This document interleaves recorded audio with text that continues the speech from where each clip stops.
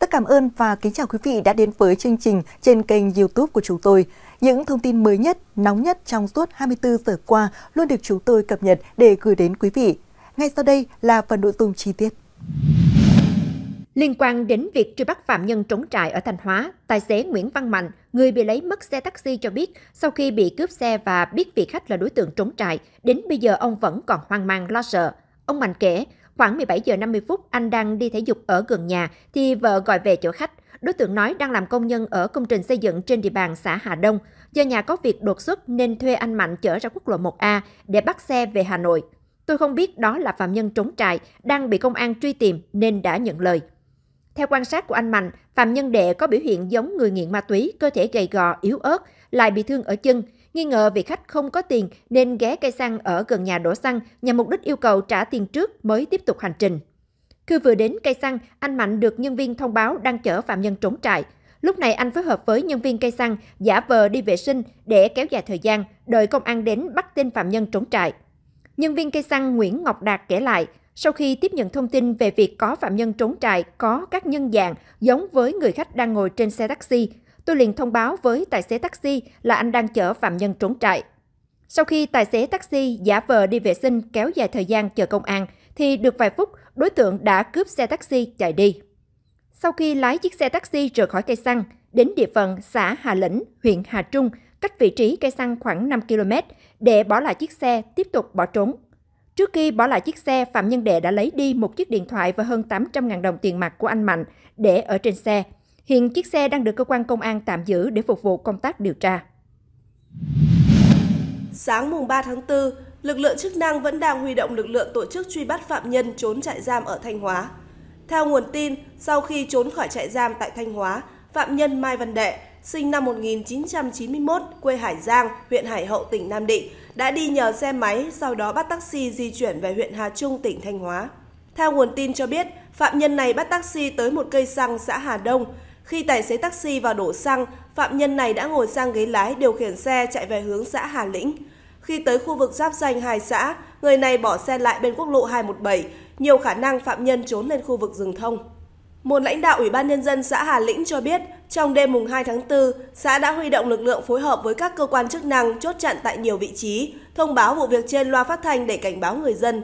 Trước đó, thông tin từ Công an Thanh Hóa cho biết đêm mùng 2 tháng 4, cơ quan này đã phát đi thông báo khẩn về việc truy tìm một phạm nhân trốn trại giam đóng trên địa bàn tỉnh này. Theo đó, phạm nhân trốn khỏi trại là Mai Văn Đệ, sinh năm 1991, quê Hải Giang, huyện Hải Hậu, tỉnh Nam Định. Khi bỏ trốn, đối tượng mặc áo phông màu xanh, quần đùi kẻ ô vuông. Trong khi bỏ trốn, phạm nhân này đã cướp taxi, sau đó bỏ lại chiếc xe taxi tại địa bàn xã Hà Lĩnh, huyện Hà Trung, Thanh Hóa và bỏ trốn. Công an huyện Hà Trung cũng đã phát đi thông báo tới người dân cảnh giác tự bảo vệ bản thân và gia đình. Để phục vụ cho việc truy tìm phạm nhân, Công an tỉnh Thanh Hóa đề nghị nếu ai có thông tin thì thông báo ngay cho Phòng Cảnh sát Hình sự Công an tỉnh theo số điện thoại 02373 858 252 hoặc 0366 695 588. Thông tin từ Sở Lao động Thương binh và Xã hội tỉnh Quảng Ninh vào khoảng 0 giờ 20 phút ngày 3 tháng 4 tại công ty than thống nhất Tập đoàn Công nghiệp than khoáng sản Việt Nam KTP ở thành phố Cẩm Phả, Quảng Ninh xảy ra sự cố tại gương lò XV5140 số 2 phân xưởng đào lò 2 khiến 4 công nhân tử vong và 7 người khác bị thương. Lò đào nơi xảy ra sự cố có diện tích 23 m2, chống thép SVP27, bước chống 0,5 m trên một vị, Lò đã được đào 240 m trên thiết kế 380 m, bước đầu xác định nguyên nhân sự cố do cháy khí metan.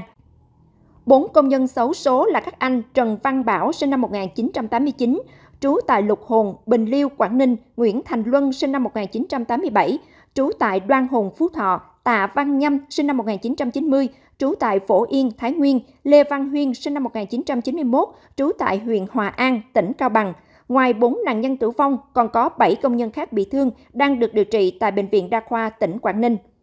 Ngay sau khi nhận được thông tin về vụ việc, Bí thư tỉnh ủy Quảng Ninh Nguyễn Xuân Ký đã chỉ đạo phân công lãnh đạo tỉnh đến hiện trường chỉ đạo cứu hộ. Chủ tịch Hội đồng thành viên Tổng Giám đốc các lãnh đạo TKV, Công ty than Thống nhất có mặt kịp thời chỉ đạo đội cấp cứu mỏ triển khai công tác cứu hộ. Đến khoảng 3 giờ 15 phút ngày 3 tháng 4, công tác tìm kiếm cứu nạn đã kết thúc các cấp chính quyền công ty than thống nhất đang phối hợp hỗ trợ gia đình đưa nạn nhân về lo hậu sự chu đáo. Sáng cùng ngày, ông Nghiêm Xuân Cường, Phó Chủ tịch Ủy ban nhân dân tỉnh Quảng Ninh cùng đoàn công tác đã đến bệnh viện thăm hỏi động viên, trao hỗ trợ cho các công nhân bị thương và gia đình các nạn nhân. Cụ thể, tỉnh Quảng Ninh hỗ trợ 20 triệu đồng một người, trong tỉnh tử vong 18 triệu đồng một người, ngoài tỉnh tử vong hỗ trợ 5 triệu đồng một người bị thương. Nguyên nhân sự cố đang được các cơ quan chức năng tỉnh Quảng Ninh điều tra làm rõ. Trước đó, tại Quảng Ninh cũng xảy ra vụ sập hầm lò khiến 4 công nhân tử vong. Sự việc xảy ra vào tối ngày 26 tháng 8 năm 2023 tại phân xưởng khai thác 3 công ty cổ phần than vàng danh. Thời điểm xảy ra vụ việc, địa bàn xuất hiện nhiều trận mưa với lưu lượng từ 30 đến 70 mm dẫn đến khu vực này bị ngấm nước. Quá trình nhóm công nhân làm việc bị bùn và than trôi từ thượng vận chuyển số 3 xuống gây tai nạn dẫn đến tử vong. Trong quá trình thực hiện thi hành án, ông Hà Văn Hưng, Phó Tri Cục trưởng Tri Cục Thi hành án dân sự huyện Bảo Yên, Lào Cai, bị Bùi Khắc Minh dùng dao rượt đuổi dẫn đến ngã gãy xương quai xanh. Sự việc xảy ra vào khoảng 14 giờ 45 phút ngày 2 tháng 4 năm 2024. Tri Cục Thi hành án dân sự huyện Bảo Yên cùng lực lượng chức năng phối hợp tổ chức thực hiện thi hành án dân sự đối với ông Bùi Khắc Minh và bà Phạm Thị Hiếu tại tổ 2A, thị trấn Phố Ràng, huyện Bảo Yên, tỉnh Lào Cai, theo bản án đang có hiệu lực pháp luật. Trong quá trình tổ chức thi hành án, ông Bùi Khắc Minh liên tục chống đối, không chấp hành việc thi hành án, có lời lẽ xúc phạm, đe dọa, thách thức những người thực thi nhiệm vụ.